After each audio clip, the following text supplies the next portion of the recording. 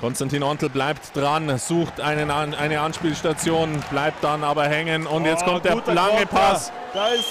Oh, der oh, hat! Was für ein Save von Peter Holgrin gegen McDonald! Und alle Fans feiern ihn frenetisch. Klasse Save von Peter Holmgren, der hier die Null hält. Der kommt auch vom Ex selber Christoph. Schade, weil eine Klaps auf den Hintern.